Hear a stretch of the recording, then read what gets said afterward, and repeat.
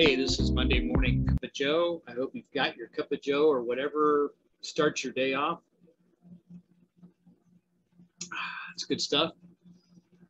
Anyway, the Monday Morning Cup of Joe is just a brief, less than five minutes, leadership injection or booster shot for something for you to keep in mind for the week. Meaning, over the next week, I want you to think about this and use it when you see the opportunity.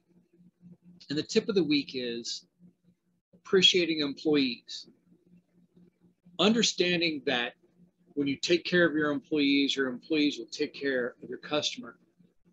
So essentially, what we want to do is go to those people that we depend upon, that we value, that we appreciate their being here, and tell them, really appreciate what you're doing. I really value how you serve our customers.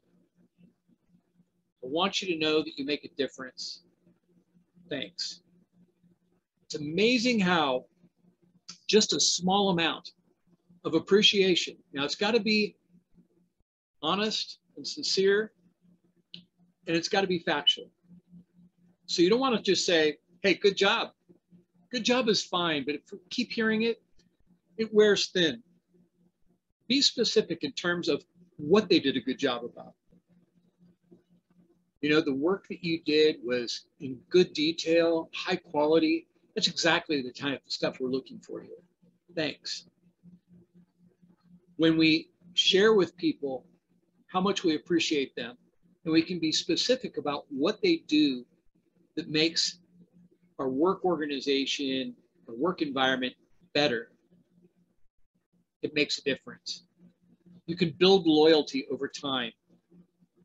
So, what I want you to think about as a leader this week is I want you to create a, a list of employees who you think go above and beyond and give them positive feedback and let them know how much you do appreciate their efforts.